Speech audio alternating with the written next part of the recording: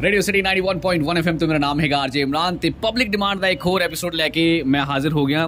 भाजी क्या नाम है आपका? मनीष भाजी मनीष ये बताओ कि जब कभी भी बारिश होती है हाँ तो सबसे पहला क्या काम करने का मन करता है? चाय भी। बस इतनी सी ख्वाहिश? हाँ, हाँ जी तो जब भी बारिश होती है तो चाय पीने का मन करता है। हाँ जी। चाय के साथ? बस पकौड़े वगैरह। शादी हो गई आपकी?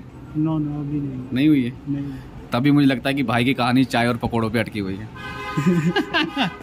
ਭਗਵੰਤ ਸਿੰਘ ਭਗਵੰਤ ਸਿੰਘ ਇੱਕ ਸੀਐਮ ਸਾਹਿਬ ਤੇ ਇੱਕ ਮੇਰੇ ਨਾਲ ਖੜੇ ਨੇ ਤੇ ਭਗਵੰਤ ਭਾਈ ਦਾ ਸਭ ਤੋਂ ਪਹਿਲਾਂ ਚਿੱਤ ਕੀ ਕਰਦਾ ਕਿਹੜਾ ਕੰਮ ਕਰਨਾ ਚਿੱਤ ਪਕੌੜੇ ਖਾਣੇ ਹੀ ਕਰਦਾ ਹੁੰਦਾ ਸਾਰਿਆਂ ਦਾ ਪੰਜਾਬੀਆਂ ਦਾ ਯਾਰ ਇਹ ਪੰਜਾਬੀ ਪਕੌੜਿਆਂ ਨੂੰ ਕਿਉਂ ਇਹਨਾਂ ਮੂੰਹ ਕਿਉਂ ਪਿਆ ਹੋਇਆ ਮੈਂ ਨਹੀਂ, ਚਲੋ ਪੰਜ ਛੇ ਜਣਿਆਂ ਨੂੰ ਹੁੰਦਾ। ਪੁੱਛਿਆ ਸਾਰੇ ਕਹਿੰਦੇ ਪਕੌੜੇ ਕਿਉਂ ਇਹ ਬਈ? ਹੁੰਦਾ ਕਿ ਜਦਾਂ ਠੰਡਾ ਮੌਸਮ ਹੋਇਆ ਤਾਂ ਪਤਾ ਵੀ ਠੰਡੇ ਮੌਸਮ 'ਚ ਹੀ ਪਕੌੜੇ ਮਿਲਣੇ ਨਹੀਂ ਤਾਂ ਅੱਗੋਂ ਕੜਛੀ ਪੈਣੀ ਆ ਗਰਮੀ 'ਚ ਤਾਂ सबसे पहला ऐसा कौन सा काम है जो करने का मन करता है भीगने का भीगने का मन करता है सोने का मन करता है बारिश में क्यों ऐसा क्यों भाई बारिश की आवाज़ सुन के नींद बहुत अच्छी आती है आपको बहुत ज्यादा मोह है बारिश की आवाज से जी जी जी कामिल भाई लंबी राइड पे जाने का लॉन्ग राइड पे जाने का अच्छा इसके अलावा कुछ और करने का मन ऐसे तो कोई मन नहीं करेगा बारिश में करने की। शादी हो गई आप दोनों की? नहीं।